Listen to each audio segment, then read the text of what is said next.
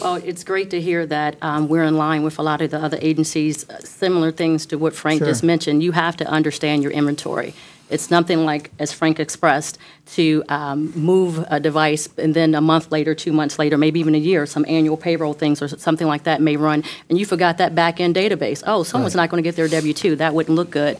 One of the things that Steve mentioned down there was um, if you're not virtualized, you're old school. So trying to get the old school people to buy in to say this is a great thing, will save you money. Hey, give me your requirements. Right. I can procure you or I can release a virtual machine to you within two, two to three days max, you know, depending Right. on, you know, priorities versus you having to go through acquisitions, find five, five thousand, ten thousand dollars to procure these things. I can release this on the fly to you.